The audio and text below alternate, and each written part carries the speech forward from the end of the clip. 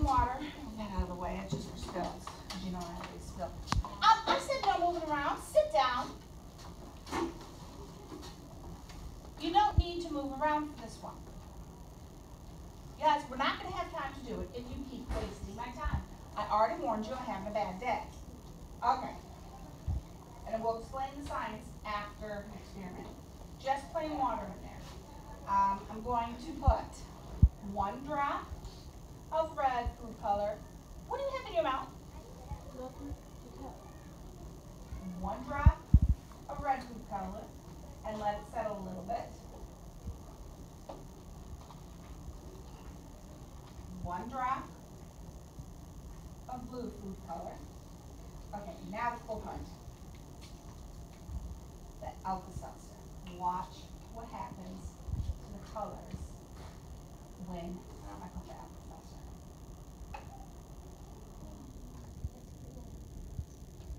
Louis, are you serious?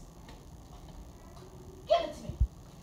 Why are you playing on your phone? I just yelled at him and someone over there for not listening. I am so sick and tired of you guys. It's not funny. Don't laugh at me. Oh, you in my. Now what do you think?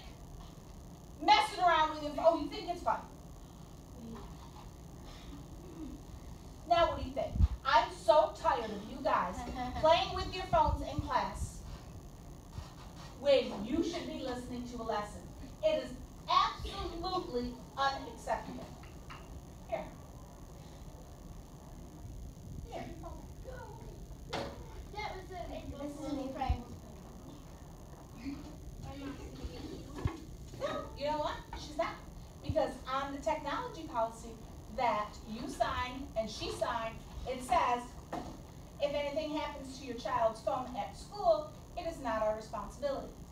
So she can, I, she has no legal recourse. She cannot hold it against me at all.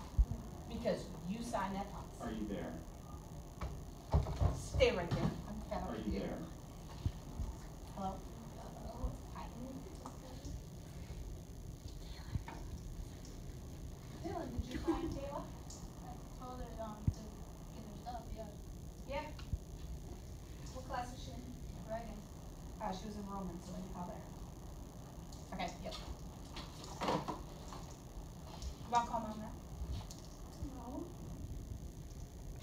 Jeremy, move.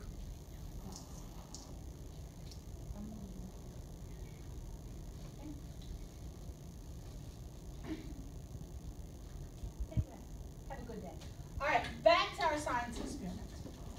What you were supposed to see was the mixing of the two colors, and I didn't actually put enough red in because it was supposed to turn purple. Um, so it didn't work out well. It didn't work out well anyway because Louis wrote it. Boys and girls, having cell phones is a privilege in school. It's great for joining with joining time.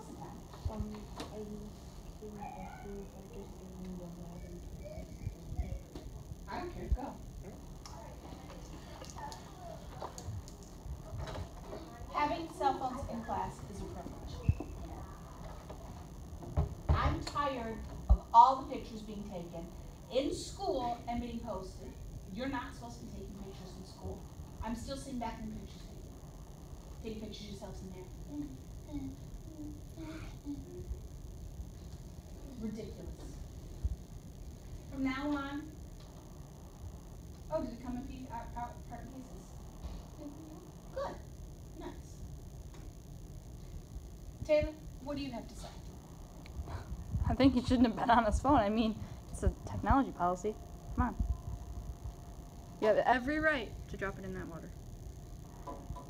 Anything to say though?